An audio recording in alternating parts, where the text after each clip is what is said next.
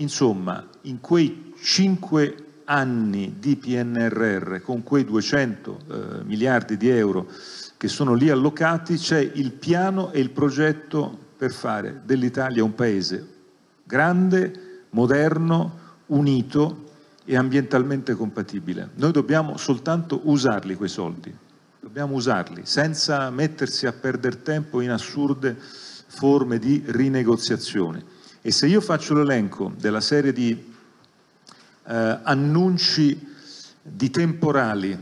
che eh, Giorgia Meloni, Matteo Salvini hanno cominciato a lanciare nei confronti della, eh, dell'Unione Europea, è evidente che da parte loro c'è una volontà di attaccare briga con eh, Bruxelles e con l'Unione Europea che è foriera solamente, in caso di una loro vittoria, eh, di eh,